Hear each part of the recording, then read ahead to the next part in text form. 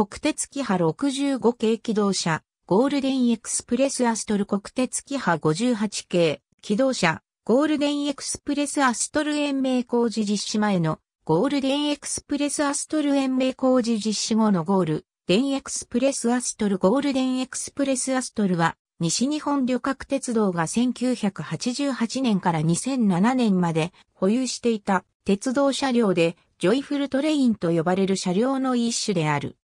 同社の金沢支社向けの団体列車として、主に関西と能登半島を結ぶ臨時列車に用いるために、マット工場でキハ65型を改造した車両である。同じ目的の車両として、日本国有鉄道が1986年にユ・ウトピアとして改造されているが、土曜日、日曜日祝日は大阪駅、和倉温泉駅間の特急、ユ・ウトピア和倉に平日は団体臨時列車に運用されていた。しかし1編成しかないため運用の制約が大きく、ユ・ウトピアワクラに運用する日には、団体臨時列車の運行が不可能となることから、団体臨時列車用の車両を別に確保する目的で登場したのが本車両である。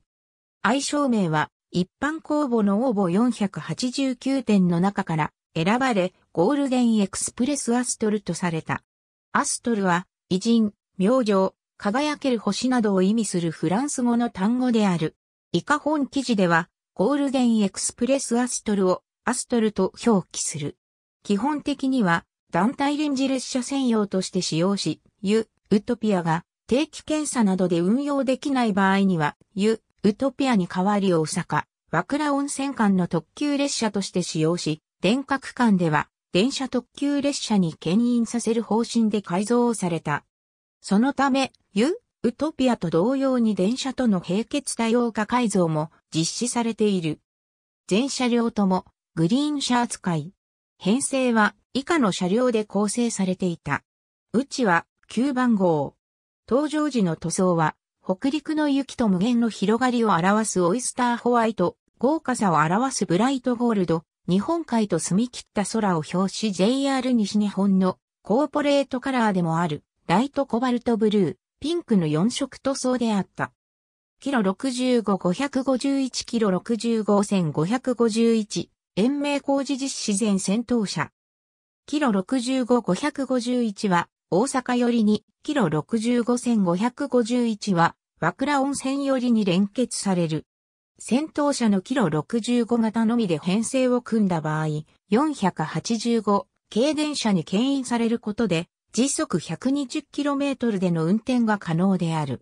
車体、編集戦闘部は、ユ、ウトピア、アルファコンチネンタルエクスプレスなどと同様、従来の戦闘部約7メートルを切断し、その部分に従来より床面高さを 600mm 高くしたハイデッカーの全面展望室交体を接合した構造であるが、斬新でさらにワイドなイメージを出すため、従来の6枚窓ではなく、センターピラーのない平面ガラス2枚による構成とし、全面形状も変更されている。ユ・ウトピアは、展望室交体の側面が、側面窓、天窓ともに平面ガラスであったが、アストルでは展望室側面窓が曲面ガラスとなっている。後方の平屋部分の車体形状は、ユ・ウトピアに準じる。窓は固定窓となり、最後部のデッキ寄りの窓は埋められている。ユ・ウトピアと同様に窓の寸法も従来より拡大されている。出入台は後くらい連結面寄りの一箇所のみとなっている。車内、編集、平屋部分は一般客室となっている。一般客室の基本構造は、ユ・ウトピアに準じており、座席は最大42度まで倒すことができる回転式フリーストップリクライニングシートで横4列配置である。客室前後の壁面にモニタテレビを各席にオーディオセレクタを装備している。座席の取り付け部分の床は通路より一段高くなっている。展望室部分は定員外のラウンジとなっている。キロ65-551は、展望室最前部に回転椅子2脚を、後部に3人掛けソファ2組を設置し、キロ65500、キハ65系のみで編成を組むため、キロ65-551の客室と出入台の間に和式便所、男子用小便所、洗面所を新設している。キロ65-1551では、客室と出入台の間に車半準備室、荷物置き場テレホンカード専用電話を設置している。台車、機器、編集、ユ、ウトピアと同様に電車との並結運転に対応させるため連結機をすべて密着連結機に取り替えたほか、台車、機器についても各種の改造が実施されている。台車については、時速 120km での走行に対応させるため、台車枠を強化型に取り替え、軸箱指示方式は平行リンク式からペデスタル式に変更し、空気バネ置き波181系気動車と同様のものに変更している。ブレーキ装置については、大荷重装置付き電磁直通ブレーキを新設している。電気回路については、ブレーキ強調回路、気動車の逆転機中率を電車の運転台で監視するための表示灯回路、電車との連絡用回路を新設している。ジャンパ連結機については、K70、K76 の異業ジャンパ連結機を設置している。走行用エンジンは、従前の DML30HSD のままである。電車と連結運転している間は、エンジンは停止させるようになっている。冷房装置は、従来の au13 型分散式冷房装置を4台残し、別に屋根上の展望室後方に au76 系集中式冷房装置を1台設置している。冷房用電源装置は、従前の 4V 系エンジンと DM83 型発電機のままであるが、走行用エンジンを停止して走行するため、補助変圧器、補助整流器を設置し、冷房電源の他制御電源、サービス電源、蓄電池充電用電源としても使用するようにしている。キハ28-2049、ノトロ用ロマンスカーロマンスカーマークキロ29552、キロ29552は、七尾線の急行、ノトロに使用されていた、ロマンスカーのキハ28-2049を1987年に、マット工場で再改造した車両である。前身のロマンスカーについても、本校で記す。ノトロ用ロマンスカー、編集1980年7月、金沢鉄道管理局では、能登半島観光客の輸送像を目的として、キハ28-2049をロマンスカーに改造した。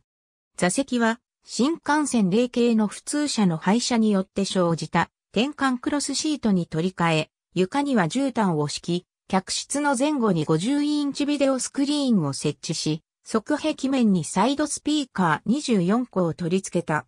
定員は44名となった。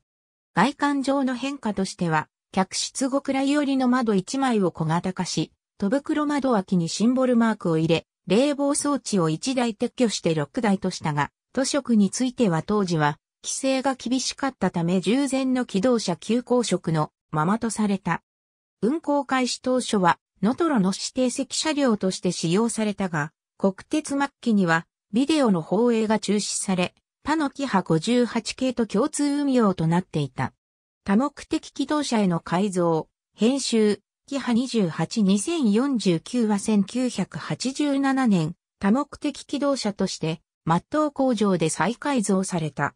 外部塗装は、キロ65-551.1551と同様で、室内は一般客室と定員外のサロンルームで構成され、その仕切り部分の側面窓が1枚埋められ、他の側面窓は窓の寸法はそのままで固定化された。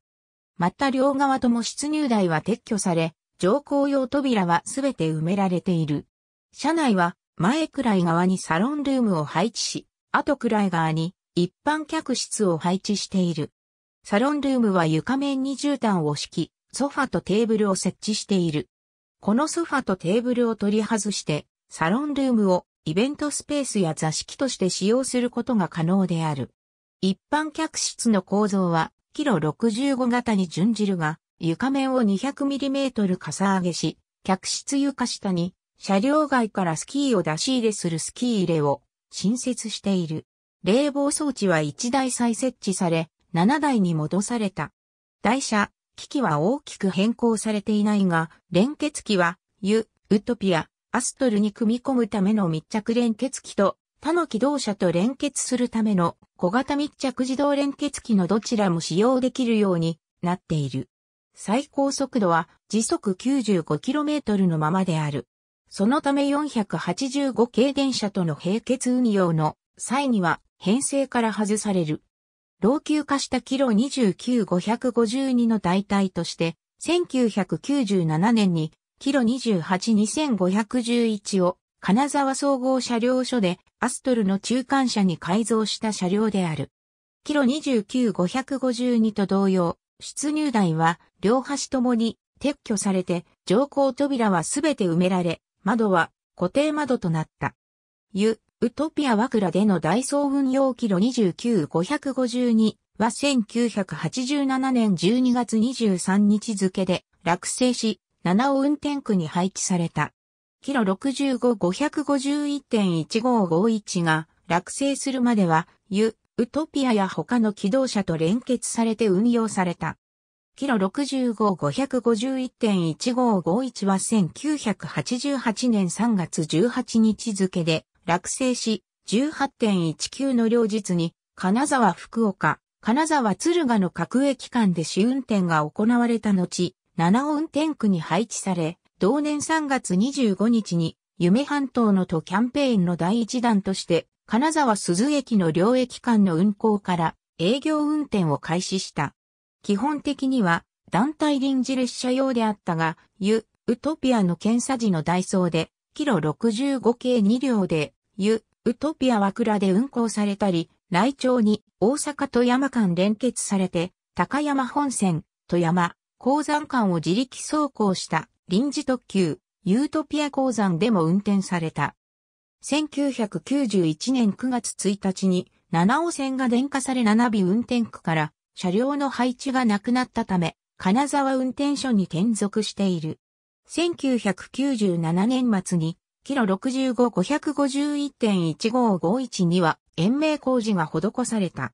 これにより塗装がクリーム色地に窓周りをオレンジ色とした新塗装に改められるとともに、中間車は新規に改造落成したキロ29554に差し替えられ、キロ29552は廃車となった。その後も団体臨時列車で運用されたが、2006年11月5日12日26日に、金沢駅猪谷駅間で臨時快速列車、ありがとうアストル号としてさよなら運転が行われ、2007年3月8日に廃車された。ありがとうございます。